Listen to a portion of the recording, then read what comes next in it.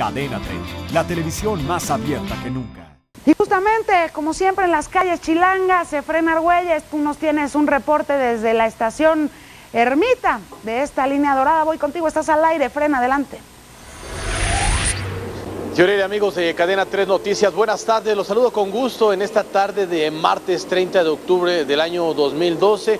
Hoy de manera oficial fue inaugurada la línea 12 del metro, la línea dorada que consta de un recorrido de 26 kilómetros, son 20 estaciones y también cuenta con 21 trenes que ofrecerán el servicio con el objetivo de transportar alrededor de 380 mil personas por día. Importante recordar que la línea 12 del metro corre del perímetro de Miscuac y concluye todo este recorrido en las inmediaciones de la zona oriente del Distrito Federal, en las inmediaciones de la delegación Tláhuac. Esta mañana, en la parte de la inauguración, también llegaron un grupo de personas inconformes, un grupo de personas encapuchadas que gritaron algunas protestas en contra del jefe de gobierno del Distrito Federal y por supuesto también en contra del presidente de la República. Afortunadamente se encontraba bien resguardado las inmediaciones de la línea 12 del metro por parte de personal de la Secretaría de Seguridad Pública y también por parte del cuerpo de guardias presidenciales. Todo este operativo se realizó desde las primeras horas de este martes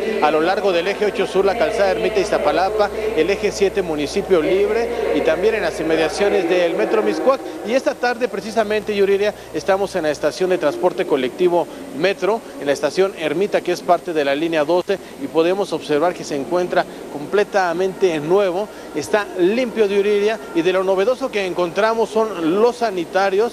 Estos sanitarios no están en todas las líneas de transporte colectivo Metro, y también nos llama la atención que ya también cuenta con un elevador para aquellas personas con capacidades diferentes, ya tienen este elevador para facilitar su transporte. También yo en esta nueva línea, la nueva línea 12 del metro, ya no va a ser necesario utilizar el tradicional boleto que usamos durante muchos años, únicamente va a ser permitido el paso con la nueva tarjeta Distrito Federal, esta nueva tarjeta Distrito Federal que también sirve para utilizar el Metrobús, posteriormente para utilizar el tren ligero y también el trolebús. Este tipo de tarjetas las pueden obtener en cualquier estación de sistema de transporte colectivo, metro o metrobús y tiene un costo de 15 pesos y ya incluye el primer viaje. Sin duda, yo diría, son excelentes noticias para los usuarios del sistema de transporte colectivo Metro. Van a facilitar el recorrido. Normalmente son dos horas de recorrido de Tláhuac hacia Miscuac y el objetivo es reducirlo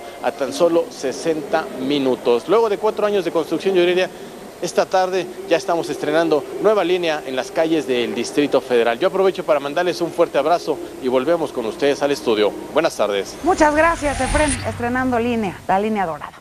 Entérate de los últimos acontecimientos de México y el mundo en Cadena 3 Noticias. Síguenos en Facebook como Cadena 3, en Twitter como arroba cadena 3-mx y suscríbete a nuestro canal de YouTube Cadena 3 Noticias e infórmate de los videos que a ti te interesan. ¿Quieres ver más? Te recomendamos estos videos.